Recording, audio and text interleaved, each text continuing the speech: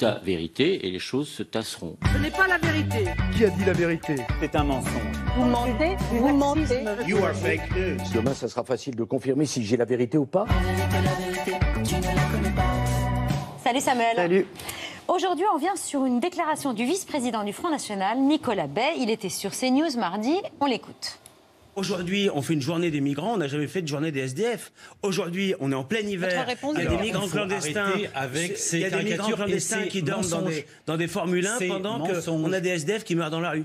Mensonge, caricature. Caricature, hein, c'est une classique euh, du FN. euh, je l'ai mis parce que c'est un peu de saison avant Noël. C'est effectivement quelque chose que le FN fait à peu près tous les ans, donc opposer les migrants au SDF, euh, de manière assez caricaturale. Donc on va expédier rapidement l'histoire de la journée des SDF euh, qui n'existerait pas alors que la journée des migrants existe. Donc c'est les Nations Unies hein, qui font la journée des migrants, c'est pas la France.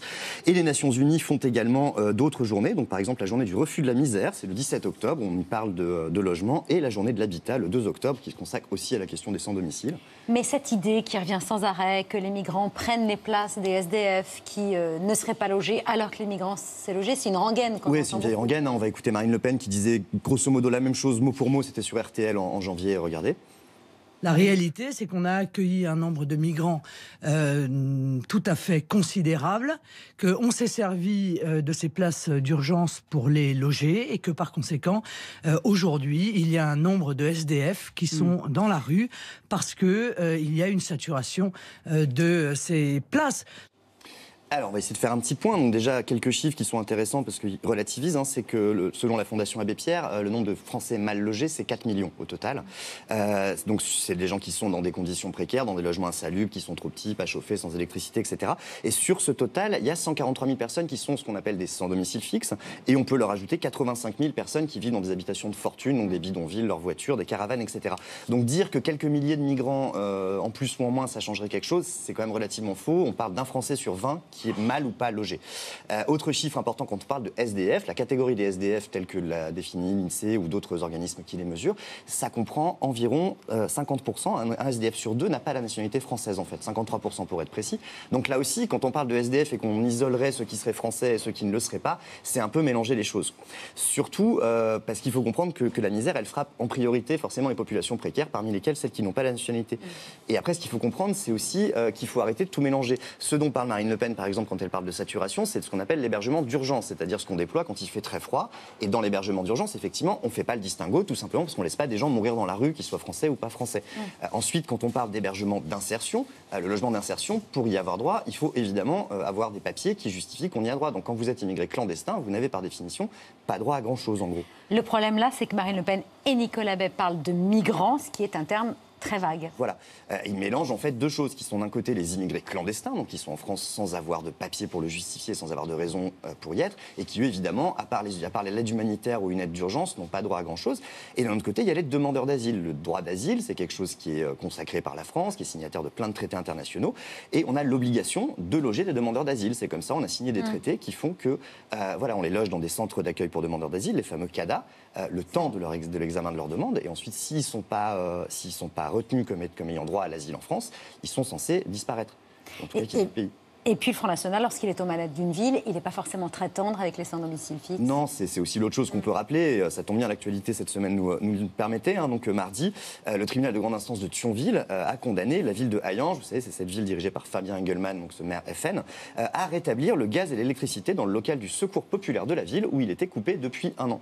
Puisque donc le maire est en bisbille avec cette euh, association euh, qu'il accuse justement de trop aider les migrants, mais du coup, parce qu'elle aide trop les migrants, il lui coupe complètement ses ressources, ce qui fait qu'elle ne peut plus aider personne. Non. Faites ce que je dis, mais euh, non, c'est ça. Faites ce que je dis, pas ce que je fais. C'est exactement ça. Euh, autre sujet, vous vouliez revenir sur l'accident qui a fait euh, euh, six morts et neuf blessés. ce quart d'enfant qui a été heurté par un TER. Ouais, en fait, surtout sur une vidéo qui tourne beaucoup sur les réseaux sociaux. Vous avez peut-être vu, elle a fait plus de 6 millions de vues, peut-être même 10 maintenant. On y voit, regardez, un, un passage à niveau euh, qui ne se ferme pas au moment du passage d'un train. C'est assez euh, impressionnant et assez inquiétant. Euh, Mais c'est faux. Mais c'est faux. En tout cas, c'est pas, c'est pas en France. C'est une vidéo qui vient, vous pouvez vous rassurer, de Pologne. hein, donc, euh, vous pouvez vous inquiéter des passages à niveau en Pologne, Pologne. en revanche. Euh, elle date de septembre. hein. Il y a un journal polonais qui en a parlé en parlant de l'horreur au passage à niveau. Bon, il n'y a pas eu On le d'accident. voit bien sur le site là. On voit bien, Bien sur le site. Je vous le traduis, hein, parlant polonais couramment. C'est donc horreur au passage à niveau. José Bové. Et ce passage à niveau, il est manuel, Voilà, pas de quoi s'inquiéter. Le passage à niveau, il est manuel. En France, ça n'existe pas, les passages à niveau manuels, ce qui évite ce genre de cas où le monsieur, visiblement, s'était un peu endormi.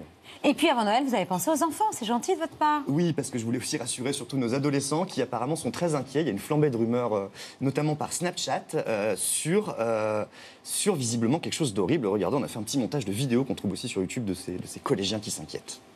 nous sommes en danger de mort. Donc c'est-à-dire que Macron veut nous faire enlever deux semaines de vacances d'été. Et euh, il faut faire passer le message, en fait. Apparemment, le ministre de l'Éducation nationale prévoit de nous enlever deux semaines de vacances, de, de grandes vacances, même pas de petites vacances, non, de grandes vacances euh, juillet-août. Du coup, on va carrément perdre quasiment tout le mois de juillet et c'est pas possible. Arrêtez. Euh, je viens de recevoir le truc sur Snap, je suis partie vérifier, etc. Et apparemment, c'est vrai, c'est pas des salades. Apparemment, c'est vrai. Apparemment, c'est vrai, c'est pas, pas des des salades. Apparemment, c'est pas des salades, en fait, si, c'est des, des salades. salades. C'est- des grosses salades. C'est assez amusant parce qu'en fait, c'est une rumeur, pour le coup, elle doit dater. Je pense qu'elle existait déjà quand moi j'étais au collège, hein, ce qui commence à faire quelques années.